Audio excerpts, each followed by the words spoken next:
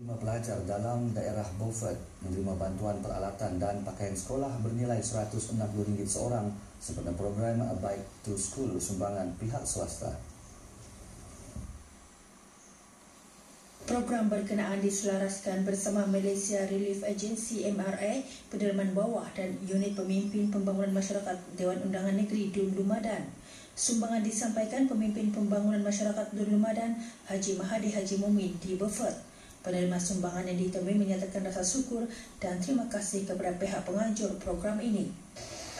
Barang-barang sekolah, kasut, alat tulis, buku, semualah.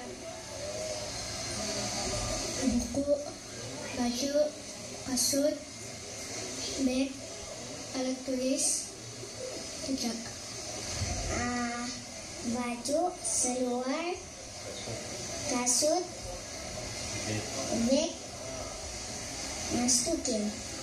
Uh, dan saya sangat mengharapkan agar NGO-NGO yang lain akan mengambil bagian dalam membantu uh, gulungan-gulungan uh, ataupun astap-astap yang uh, kita kenal pasti tidak berkemampuan untuk uh, meneruskan uh, uh, membeli uh, barang pakaian-pakaian keperluan sekolah. Sementara itu, menurut penyedia MRA Pedalaman Bawah Muhammad Norizwan Awang, pihaknya prihatin dengan keperluan mereka yang kurang berkemampuan. Selain bantuan persekolahan, MRA juga menganjurkan program kem perubatan dan program sahabat MRA serta program tanggungjawab sosial korporat kepada golongan memerlukan.